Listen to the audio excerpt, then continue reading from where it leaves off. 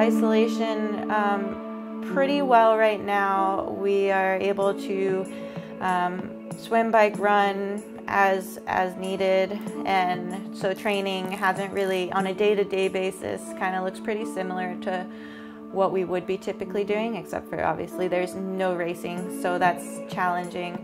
There were a bit, a few low moments, but I was really fortunate. I talked to a sports psychologist and uh, talking to Joel, talking to Tommy to really help me out of those lower moments um, because it's just hard not knowing uh, what we're doing, what we're preparing for. So um, I started finding more of a rhythm and routine and appreciating kind of what the silver linings were during this time, which is I spent way more time with my mom and dad and my family.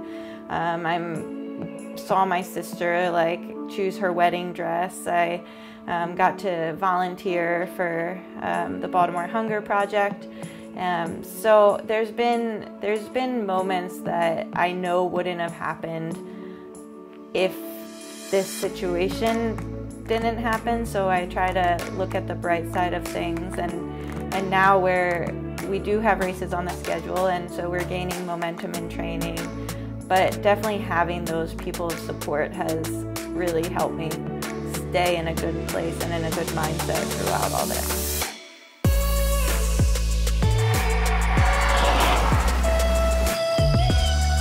My goals right now are um, to build up my fitness for hopefully racing.